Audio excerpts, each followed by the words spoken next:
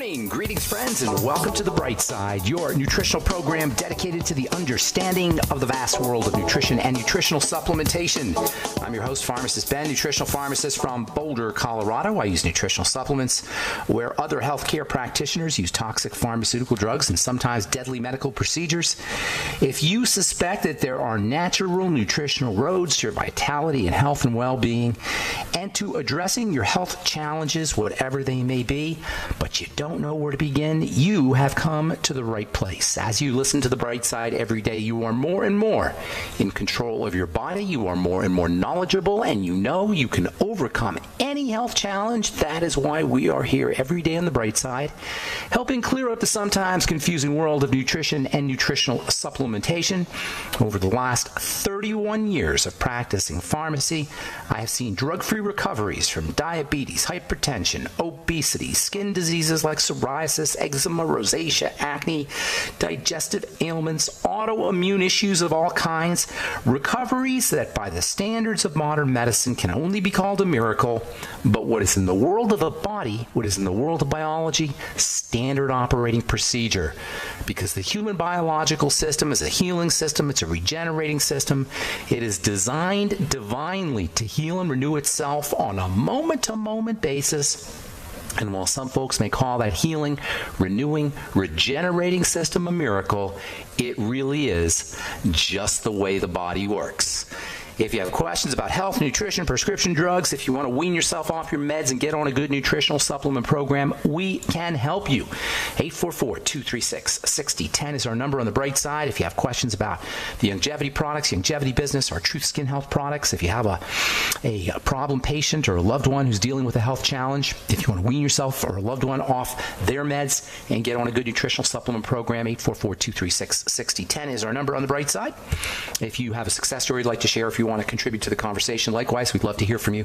844-236-6010 is our number on the bright side. If you want to brightsideben.com, criticalhealthnews.com, and uh, or pharmacistben.com, you can purchase longevity products off the website. You can also sign up to join the Brightside Ben team off our websites brightsideben.com, pharmacistben.com, or criticalhealthnews.com for a one-time $25 fee. You can be in business. You can earn thank you checks associated with helping spread the word about the power importance of a good nutritional supplement program. You can have all the tax benefits associated with having your own business. Or if you just want to get your products at the wholesale price for a one-time $25 fee, you can sign up to join the Brightside Ben team. Head to brightsideben.com, pharmacistben.com, or criticalhealthnews.com. You can also call the phone team at 866-735-2470. That's 866-735-2470. Also, want to remind you to check out our Truth Skin Health products at truthtreatments.com if you're dealing with hyperpigmentation, dark spots, or acne blemishes, or you want to prevent hyperpigmentation or prevent accelerated aging of the skin. Retinol is your go to topical active ingredient. It is, along with vitamin C, one of the two most important. It is one of the two most important active materials for the skin. If you're not using retinol and you're not using fat soluble, stabilized vitamin C on your, on your skin on a regular basis, you are truly missing the boat on anti aging skincare. And you need good doses as well, and that's why we put 5% retinol in our Truth Retinol 5% gel, 25% vitamin C, 68% vitamin C, 70% vitamin C. All our, all our uh, Truth treatment products are absolutely packed with vitamin C, as well as retinol, never any preservatives, fragrances, fillers, waxes, emulsifiers, surfactants, oil, water, nothing your skin doesn't need or doesn't want ever in our Truth Skin Health products. You can check them all out at truthtreatments.com, truthtreatments.com. All right, our number today, 844-236-6010. We've got a guest at the bottom of the hour. We're going to talk to Michael McEvoy, who is the founder of Metabolic Healing. He is a clinician, he's an author, and he is also the developer of what he calls the definitive consumer education course on genetics. And it is really, it's got a lot of good stuff. If you're if you've ever been confused about genetics or you're confused about the 23andMe or you want to know about uh, how you can use supplements effectively to control or to modify genetics epigenetically, Michael's program, Metabolic Healing, is definitely something that you want to look into. We're going to talk to Michael about epigenetics and genetics and about his uh, consumer education course in genetics at the bottom of the hour. So if you have questions or comments and you want to give us a call, we'll get your calls here in our next segment at 844 236 6010. That's 844 236 6010. So we've been talking about the nature of vibration and the relationship of vibration to health. Vibration throughout history has been regarded as, as the fundamental aspect of reality, the fundamental aspect of creation. This is what the Bible means when it says that in the beginning there was the Word. The Word is a metaphor for vibration. The logos. God is called the Logos. Logos means the Word. And the Word is can be thought of as a type of vibration. A word is a type of vibration. Scientists today talk about something called string theory. String theory is the modern version of the Bible's word theory. The Bible says that creation began with the word. Physicists say that creation began with strings. Strings are little words. That's basically what they are. You can think of a, a string as a, a fundamental unit of vibration. String theory is word theory. I call it word theory, and it gives rise to creation. That's the physics. That's the uh, physics perspective of what the Bible says. In the beginning, there was the string. Bible says in the beginning there was the word. Physicists say in the beginning there was the string. One of the most obvious ways, one of the most prominent ways that vibrations show up, even if we don't often think of it that way, is color. The seven colors Roy G. Biv red, orange, yellow, green, blue, indigo, violet. You probably heard the term Roy G. Biv.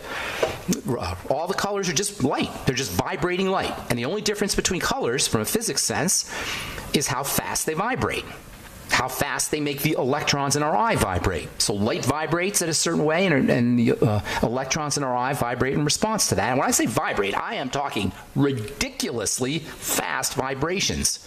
Red, for example, vibrates at around 400 trillion times a second. The light that makes up red, red light, vibrates at 400 trillion times a second. How can that? It's inconceivable. Yellow vibrates at 500 trillion times a second. Blue, 600 trillion times a second. The only difference between blue and yellow is the rate of vibration. The only difference between any color is how fast that color, how fast the light that's carrying that color is vibrating. If it vibrates faster, we see uh, green. If it vibrates slower, we see red. So, given this fundamental nature, and fundamental relationship of vibration and its relationship to all of creation, vibration equals creation, it should come as no surprise that the health of any organized system, any living system, including our living system, the biological system that we call the human body, is fundamentally related to vibration in the body, nutrition, relaxation, breathing correctly, all the strategies that we talk about that make up what I call the bright side philosophy of health, they're about vibration or more accurately, the smooth flow of vibration. We call that coherence. Health is coherent vibration. Yesterday we said that the difference between coherence and incoherence, or one of the differences between incoherence and, and coherence, is like the difference between a laser and a light bulb. A laser's light energy is organized, it's coherent, it gives it great power. The coherence makes it powerful. You can do surgery with lasers, you can eliminate cancer tumors with lasers, you can drill through teeth and play CDs and read barcodes with lasers lasers can be so powerful that they have military applications. The Air Force is working with lasers to shoot down enemy planes and ballistic missiles. That's what the whole Ronald Reagan Strategic Defense Initiative, the Star Wars Initiative, so-called Star Wars Initiative, is about. He proposed uh, shooting down ballistic missiles, incoming missiles with lasers. They already have it. It's already come to fruition, at least experimentally. I was just reading uh, on CNN, uh, the Air Force by 2020 will be mounting lasers on fighter fighter planes. How unbelievable is that? You're going to have fighter planes with lasers shooting lasers, a whole new level of military technology that is going to make ordinary weapons obsolete. On the other hand, no one is going to be shooting down any enemy planes or any anybody's enemy missiles with light bulbs, no matter how bright the light bulbs are. That's because unlike the coherent energy coming from a laser, the light bulb's energy is incoherent, it's scattered, it's disorganized, it's chaotic. You can only use a light bulb to, to read with or to, to see with. You're not going to use, you're not going to do anything constructively with a light bulb. Nutrition and what is sometimes called derisively alternative medicine is about coherence. Drugs and surgeries, they're about chaos drugs and surgeries and all the weapons of the medical model, all the tools of the medical model, they're like light bulbs. Nutrition is like a laser. Diet is like a laser, exercise is like a laser. This is what alternative medicine is it's coherent vibration, coherent health energy. All right, I'm Pharmacist Ben. 844 236 6010 is our number. We'll be back right after this.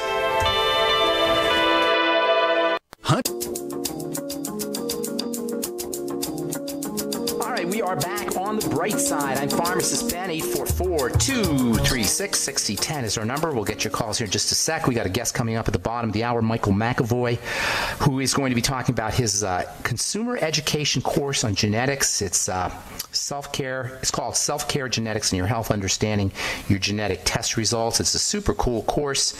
Uh, Michael is a clinician, he's an author, and he's put together this program. We'll be talking about it. His website, by the way, is called is uh, metab- metabolichealing.com if you're interested in checking it out.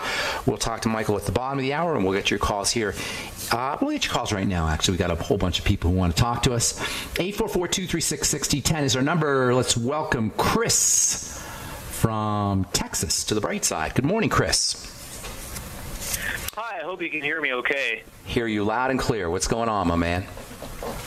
Well, uh, at first I was going to talk to you about Cymbalta because uh, I met somebody, they, they were giving me their horror story about that. But uh, actually, on a positive note, I came across uh, this is actually some stuff that I found good deals on that I've had positive results from. Uh, uh, I bought a uh, resveratrol supplement okay. and uh-huh. then a uh, collagen. It says uh, Youtheory collagen type two.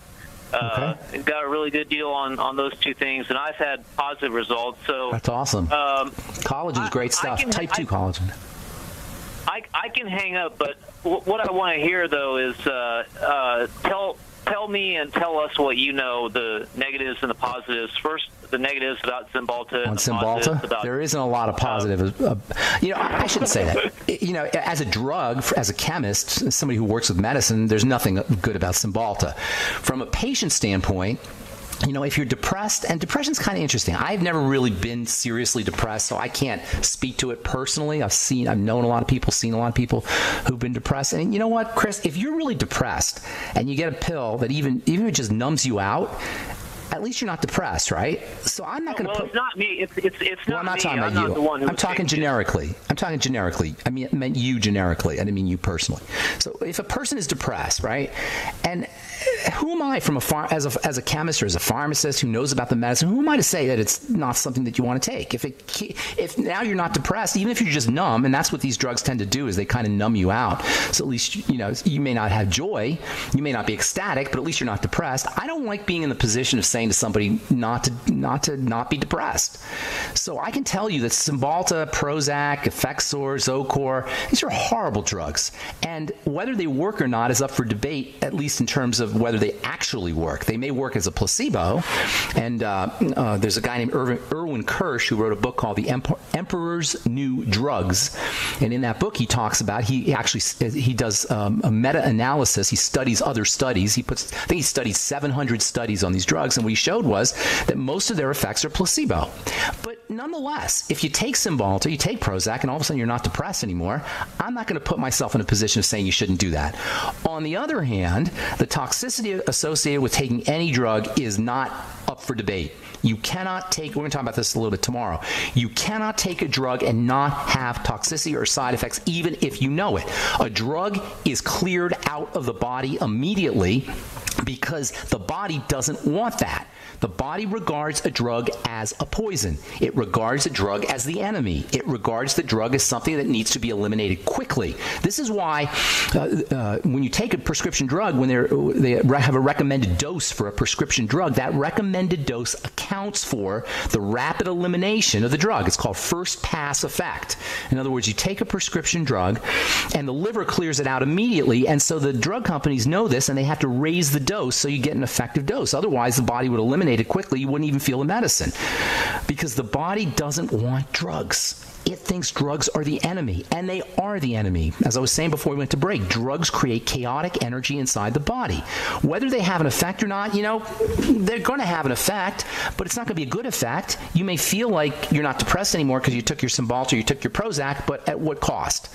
At the cost of all kinds of nutritional deficiencies, at the cost of liver toxicity, at the cost of adverse reactions and side effects.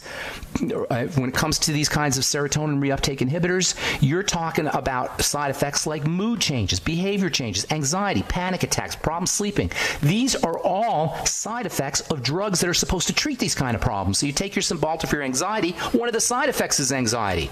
You take your uh, Cymbalta or Prozac or serotonin reuptake inhibitor for panic attacks, one of the problems, one of the side effects is panic attacks. You take it for depression, one of the side effects of these drugs is suicidal thoughts. So you can't get away with taking a drug and not expect toxicity or side effects, even if you know it. And the most insidious, as I've said before, are nutritional deficiencies. There's, so much more to say about this, but you know, I hope I hope I'm not being mean, and I don't I don't want to be mean spirited. If somebody gets benefits from these things, more power to them. But I certainly don't recommend them. Chris, I want to get a couple more calls. I hope I helped you out, buddy. Thank you so much for uh, for reaching out on the bright side. All right, have a good day. All right, let's go to uh, let's go to Elaine. Oh, Elaine in Alaska. Good morning, Elaine. How you doing? Hi. Good morning. How are you? I'm doing good. Thanks for calling. What's up? Great. Yeah, just thanks again for how much you've helped me and has helped so many of my patients. Uh, Thank you. I appreciate that. Yeah, just uh, real quick, you know, uh, I, I spoke to you a couple weeks about. Um, I've had this like uh, it's like a chronic cough, especially like after brushing my teeth, and it's real phlegmy. My doc said it's kind of, you know, because it's white phlegm and it's. It happens right after you brush your teeth? That's when it's worse, like brushing. Interesting. What kind yeah, of tooth? Oh. Have you changed your toothpaste around? Yeah, so I took out the sulfate and the toothpaste. That got better. Fluoride okay. free, better.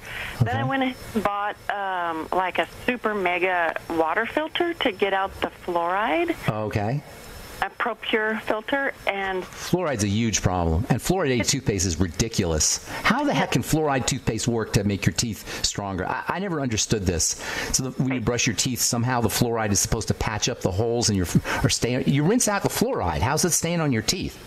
Right. And by the way, fluoride is a, a deadly toxin, and you can't tell me that you're not drink, you're not swallowing fluoride when you brush your teeth.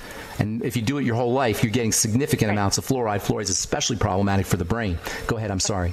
That's okay. So taking out the fluoride toothpaste, taking out the fluoride in the water, or with this filter, whatever, it's been about three weeks. Made a difference? It's like night and day. Oh, that's awesome. That's awesome. What, kind of filter? What kind of filter did you get? It's that ProPur brand. Uh, it's okay. Giant. I guess it's ceramic. I'm not quite sure. Um, the water tastes so good. Our oh, that's water, awesome. Alaska water is really good, but the city ruins it with the chlorine and the fluoride. Uh-huh. Does it get so, the chlorine out too? Yeah, everything. Oh, that's awesome. It's called a ProPur filter. Yeah, ProPur. Yeah. Do you is. see any crap on the filter after after a week or two? Tons. I've been using it about three weeks, and it's like, oh, look at this filter. Oh my God! And that's the stuff you were drinking. Yeah. Oh my yeah. goodness. How about distilled water? Have you tried distilled water? Does it does it taste similar to distilled water? Or? Uh, you know, I've never tasted. I worked with it in chemistry, but I've never really tasted distilled water. That's the only kind of water I drink personally is distilled oh. water. Or mostly, you know, if I'm in a restaurant or something, I end up drinking tap water probably, but I try to stick with distilled water personally. Water water is very serious business, and yeah. the whole idea of fluoride and chlor- chlorine, you can't tell me that's not affecting our health negatively. Hey, Elaine, that's the music. Thank you for sharing. Appreciate it. Hey, um, I had a question. Did you have a question? Yeah, for my daughter. Is it okay to give her non-fluoride water? Of course. Oh, your baby? She's 12. Of course. You don't need fluoride in your water. Okay. You don't. You don't need to have fluoride in the water. Stay away from the sugar. That's the big problem. Okay. All right. Thanks, Elaine. We got to go. Okay, that's the music. Time to hit the break. We'll come back with Michael McEvoy in our next. Okay, are back on the bright side. I'm Pharmacist Ben. We're on the air Monday through Friday, 8 to 9 Pacific, 10 to 11 Central Time, and 24 7 on the archive pages at brightsideben.com and benfuchsarchives.com. You can purchase longevity products at brightsideben.com, also pharmacistben.com and criticalhealthnews.com. You can sign up to join the Brightside Ben team. Help me in my mission to educate the world about the power and importance of a good nutritional supplement program for one time $25 fee. You can become a distributor. Check, uh, check out all the information and all the longevity products at Truth Treat at uh, sorry bravesideben.com, pharmacistben.com, and criticalhealthnews.com. You can check out our Truth Skin Health products at truthtreatments.com, truthtreatments.com. All right, so I am very very happy to have our next guest on, Michael McEvoy. He's the founder of Metabolic Healing. He's a clinician, a super bright guy, educator, teacher, and he's also created something he calls the Definitive Consumer Education course on genetics. His website is metabolichealing.com. We're going to talk some genetics and uh, talk a little bit about 23andMe and how to read 23andMe. Uh, also, maybe we'll get to some stuff about the MTHFR stuff, the gene mutations and uh, the uh, methyl the uh, methyl tetrahydrofolate reductase um, uh, deficiency gene mutation. Well, maybe we'll get to talk about that later on here. Thanks for joining us, Michael. How you doing, buddy? Hey, good, Ben. Thanks for having me. I'm doing really well. So, uh, you would you call yourself a geneticist? Absolutely not. Um, okay. But I, I definitely have an interest in genetics from a clinical perspective because, let's face it, the world is now bombarded with genetics information and information about genetics and misinformation and, and disinformation and, and a lot of a lot of misinformation and a lot of it we need to really kind of you know cut away a lot of the noise to really get to what the meat is and what's really important. What, what exactly is the problem, in your opinion? What is the problem with the genetic theory, the genetic dogma, or uh, the central dogma they call it? Have you heard that phrase, the central dogma? The yeah, I mean, that- the, the, central dogma, I mean, it's, it's, basically based on a lot of what I call the rush, R U S H. And essentially, what that means is that there's been a huge rush to push genetics research forward. And while that's all sounds good, and there's nothing necessarily wrong with creating an enormous amount of research on a particular subject. You have to understand the limitations of how that research gets processed and realizing that we're really at just the beginning stages still only 50, 60 years in any significant genetics research, we're still in the infantile stages of understanding what really genetics is all about. And so a lot of it has to do with the kinds of studies that have been done have been primarily population-based studies, which you know study the, the associations between certain diseases and genetics. But as we know, Ben, associations with diseases is not necessarily the same thing as causation. Right. Correlation is not causation, as as they say. So, is that how you see? Is that the major problem you see with genetics? Because it seems to me like it's so simple. Oh, I got the gene for breast cancer. I should just get rid of my breasts, or you know, I've got the gene for cancer, so now I have to really be careful. What's wrong with that idea that there's that there's a gene for the, there's a gene for a problem, so now I can take a pro, preemptive uh, make a preemptive strike against my genetic tendency tendency. Is that a problem? Well, it can definitely be a problem, Ben. And, and, and, the main problem is that with all of this research and looking at these associations, we are failing to understand what really is going on from the genetics perspective. And so, you know, there are certain things that are known as genetic diseases, and these are actually very rare, and they're usually identified in the first few years of somebody's life. And medicine is is pretty darn good of identifying many of these really rare genetic diseases. But then there's everybody else that all of this research is is trying to suss out who's got what risk factors. But the big thing that's being ignored, and it's still being ignored today, is that your gene status, and this is a key point, your genetic status is not necessarily the same thing as your genetic expression.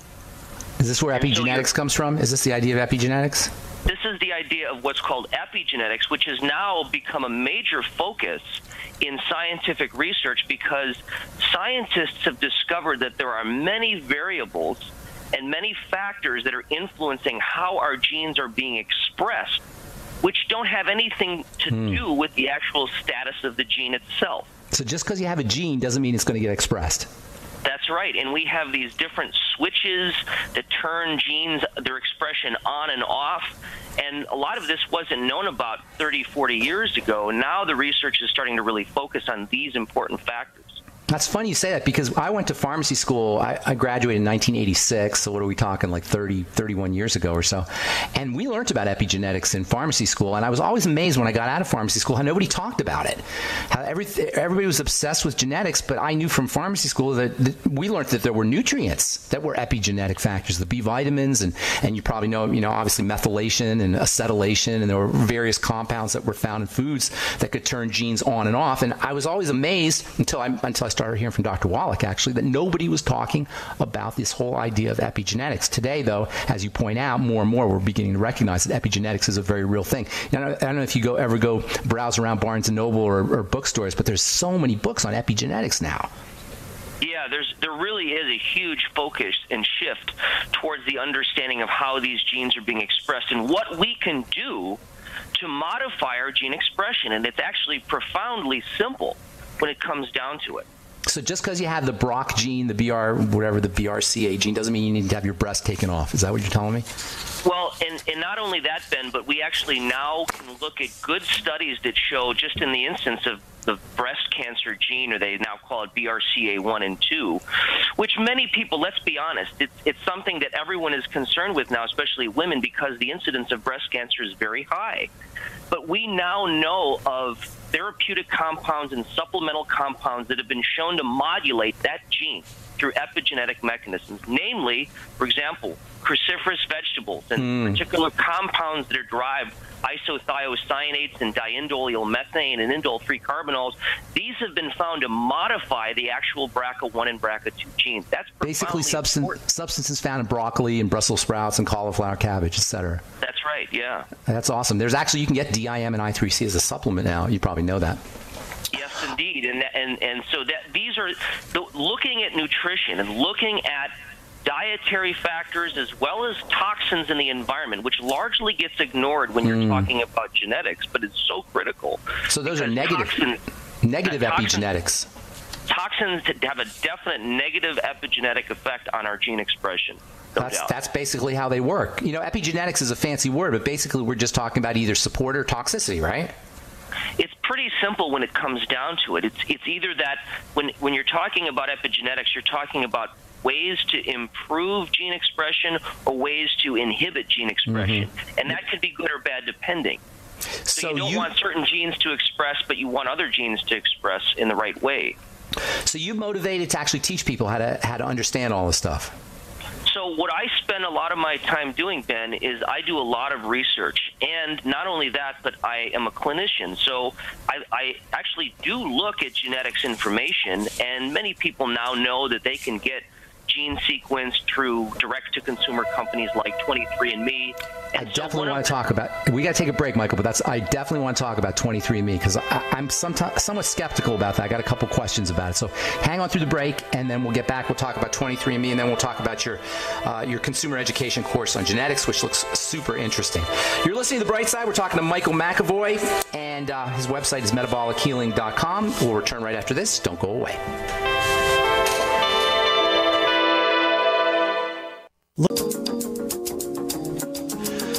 We are back. I'm Pharmacist Ben. You're listening to The Bright Side. We're talking to Michael McEvoy. Website is metabolichealing.com, and we're talking about his program he calls the Definitive Consumer Education Course on Genetics. Michael, so I've been seeing all these commercials about 23andMe. What's the scoop? Is it real? Does it work? Is it something we need to be careful with?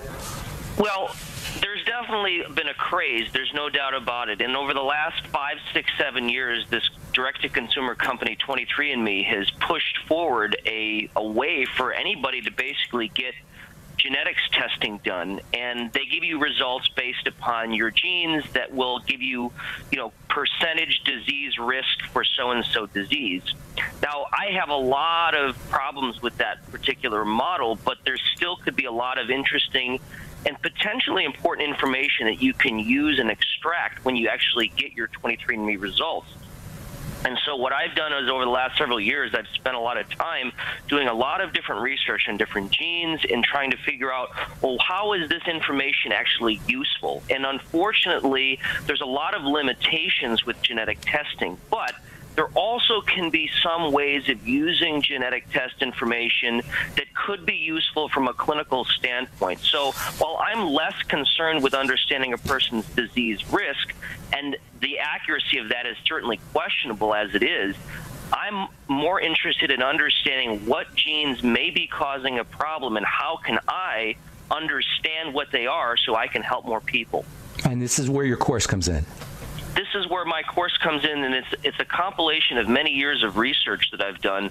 My clinical partner Julie Donaldson is also involved in the course, and we give case studies as well as we give away a lot of really important takeaway information that you get when you get the course. We get we give you certain uh, cheat what we call cheat sheets. So we look at ways to help improve a person's mood and behavior through neurotransmitter balancing, through hormone balancing, and even discussing factors that influence autoimmune diseases. So we look at genes, but we also look at factors that influence the expression of those genes and what we can really do from a practical, simple standpoint. Now, from a, just speaking logistics wise, what do if somebody's interested? What do they have to do? First of all, what do they have to do? How much does it cost? And then what are, what can they expect to get out of it specifically? So the the course is ninety nine dollars, and they go to metabolichealing.com forward slash Ben. And the takeaway from the course is basically there's three major things. First of all, when you take this course, you're going to have a greater understanding of genetics. You're no longer going to be afraid of genetics, and you're no longer going to feeling feel like you're being misled or confused. You'll have a much stronger understanding of what the strengths and limitations are of genes and genetics in general. Number two, you're going to have a lot of takeaway material. As I mentioned, we're going to you're going to learn about things that are going to foods and supplements that are going to actually help you to modulate and control your genetic expression. And we go over a list of three very common types of health conditions today: autoimmune disease, hormone balancing, and neurotransmitter balancing, which is basically your mood and behavior. Number three, you're going to learn about all of these different case studies and you're going to learn how we as a as a team actually work with genetic testing from an evidence-based standpoint so that we can really get optimal results with clients. And it's an online video course. It's an online video course that you take at your own time, and you have your own personal login. So there's you can you basically own the course for life. Now, is uh, is this for, this is uh, for lay people? I take it, but can clinicians benefit as well? Massage therapists, say acupuncturists, doctors, or people who work with patients. Absolutely, without a doubt. And it, it definitely is designed for the layperson that doesn't have any prior understanding of genetics at all. But it can also be applied to anybody that has an interest in genetics, and that includes any kind of health professionals as well.